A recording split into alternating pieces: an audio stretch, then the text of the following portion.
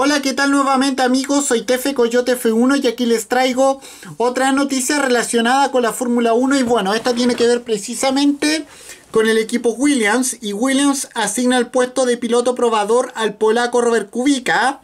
porque como sabemos el polaco tendrá un papel secundario en la estructura de Grove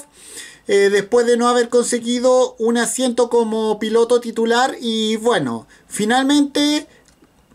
Eh, Kubica eh, será piloto probador del equipo Williams después de que eh, el mismo equipo británico de Grove haya confirmado a, como piloto titular al joven ruso Sergi Sirotkin eh, que va a acompañar a Lance Stroll en la en, esta próxima temporada 2018 de la Fórmula 1 y bueno, con esto me despido, nos vemos, adiós, que fuera, chao.